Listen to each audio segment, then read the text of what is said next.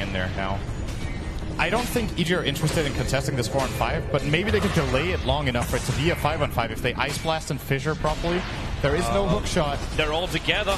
PPD, here comes the Ice Blast, ready for the dive! In from Universe! It's a disaster! CDEC! They're going to get wiped from the face of the earth apart from Agressif. He'll jump out, but the Wombo combo perfectly hits from Evil Geniuses, and now SumaiL is back,